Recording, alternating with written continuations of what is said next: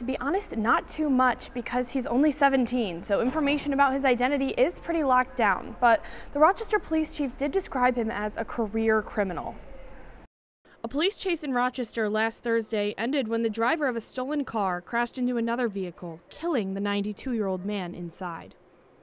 This 17 year old career criminal has taken the life of a 92 year old member of our community yesterday in a pursuit. Rochester Police Chief David Smith said the 17 year old driver was arrested for 12 burglaries in 2023 and was on parole during the time of the crash.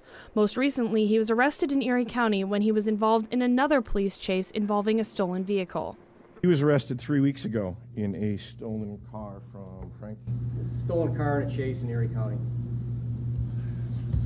22 year old victim was Thomas Chase of Brighton, a graduate of the Eastman School of Music and an active volunteer in his community, often playing piano at a local retirement home.